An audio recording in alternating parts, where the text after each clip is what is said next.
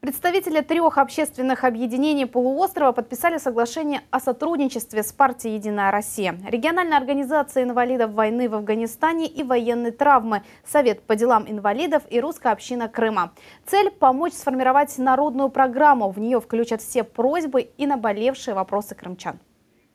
Я предложил внести э, в проект народной программы партии следующий пункт.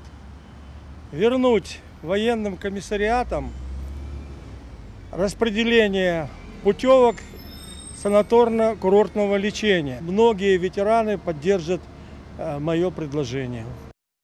Штаб поддержки партии «Единая Россия» позволит как можно детальнее рассмотреть предложения не только от общественных организаций, но и от всех жителей полуострова.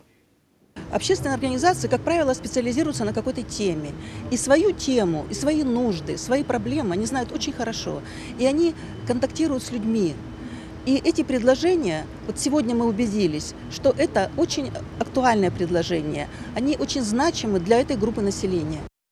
Народная программа в республике разрабатывается на ближайшие пять лет. Главная задача – улучшить уровень жизни крымчан и способствовать быстрому развитию региона. Подписание соглашений о сотрудничестве с различными общественными организациями Крыма будет проходить еженедельно по понедельникам на площадке штаба общественной поддержки партии «Единая Россия» уже прописан основной, э, скажем так, э, перечень тех общественно значимых проблем, которые будут обсуждаться совместно с общественными объединениями. Э, открою небольшой секрет, вот буквально уже в эту среду будет поднят во главу угла, поставлен вопрос, связанный с здравоохранением, обеспеченностью медицинскими услугами нашего населения. Поэтому движемся вперед, вне всякого сомнения, только в сотрудничестве политических объединений и общественных можно добиваться результата.